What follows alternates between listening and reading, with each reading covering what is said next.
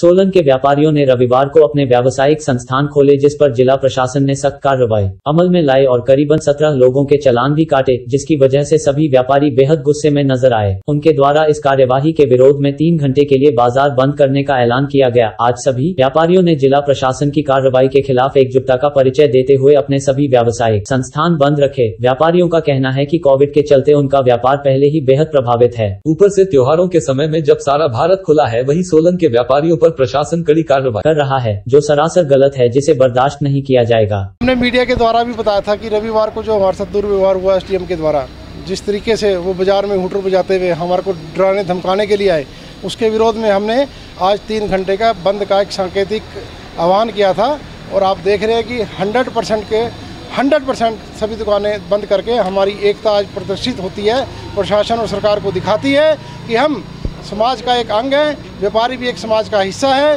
जैसे मजदूर वर्ग, किसान वर्ग, कर्मचारी वर्ग है, वैसे व्यापारी वर्ग भी एक सरकार का हिस्सा है, हम समाज के अंग है। इस करके हमारे साथ कभी दुर्व्यवहार करने की कोशिश ना की जाए, किसी की भी सरकार हो, हमने ऐसे कुछ नहीं लेना।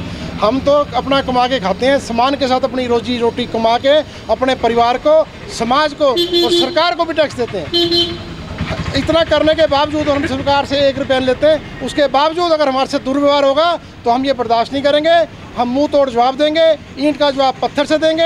हम सम्मान के साथ जीना चाहते हैं क्या हमारे को सम्मान के साथ जीने का अधिकार नहीं है समाज के अंदर। और हम इस चीज़ को बर्दाश्त नहीं करेंगे जब तक सरकार इस उपमंडल अधिकारी का तबादला नहीं करेगी। हम चैन से नहीं बैठेंगे। मुख्यमंत्री जी अभी अस्वस्थ हैं। जब वो स्वस्थ होंगे, हम उनके पास भी जाके मिलेंगे और उनको निवेदन करेंगे कि ऐसे अधिकारियों को कृपया फ़ील्ड में मत लगाएँ। वो समाज की नैया तो डुबाएँगे साथ में आपकी नैया भी डुबाएँगे। हम इज़्ज़त के साथ जीना चाहते हैं हम कम खा लेंगे नमक से खा लेंगे सरकार के आगे ऐसे हाथ नहीं बुलाते हम।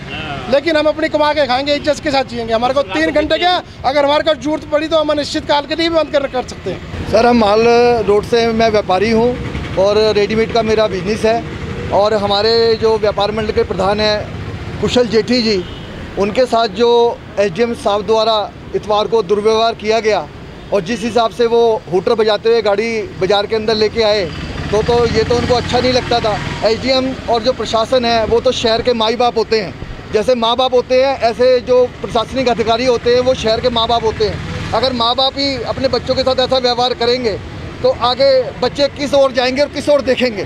तो हमारा जो उन्होंने, हमारे प्रधान जी की जो उन्होंने बेइज्जती की, और जिस हिसाब से उन्होंने आठ आठ हज़ार रुपये के चलान किए, वो जायज़ नहीं है। आप आप देखो कोविड के मारे, हम तो पहले ही कोविड के मारे हुए हैं। तीन तीन महीने दुकान बंद करी, लाइट के, बिजली के बिल दिए। जो एम्प्लॉयज़ दुकान पे रखे हैं, उनकी घर पे बैठे हुए उनको तनख्वाहें दी। जो बैंकों के ब्याज दिए। घर में जो बुज़ुर्ग बेचारे हैं, जिनको हम रोटी एक बार खुद खाना छोड़ सकते हैं, लेकिन बुज़ुर्गों को दवाई ला के देनी हो, हमारा फ़र्ज़ बनता है, वो हमने सब कुछ किया।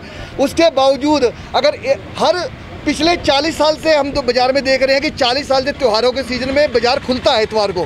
तो उसी तहा को देखते हुए हमने इतवार को दुकानें खोली और जिस हिसाब से उनको हमें समझाना चाहिए, अगर उन्होंने को हमें बोलना भी था कि तो हमारे प्रधान जी को बुला के वो बात कर सकते थे, लेकिन जिस हिसाब से उन्होंने वो आए और आठ आठ हज़ार रुपये एक रकम होती है आठ हज़ार रुपये आठ हज़ार रुपये किसी ने, मुझे लगता है इतवार को किसी ने किसी दिन आठ हज़ार रुपये बट्टे भी ना हो। और उसको आठ हज़ार रुपये जुर्माना देना पड़ गया तो कितने उसके मन से आह निकलती है। तो इस बात को आहत होते हुए हमारे प्रधान जी ने नौ से बारह बजे तक का बंद का आह्वान किया था। उस आह्वान के हम बिल्कुल साथ हैं और आप देख सकते हैं, सौ बाज़ार की दुकानें बंद हैं।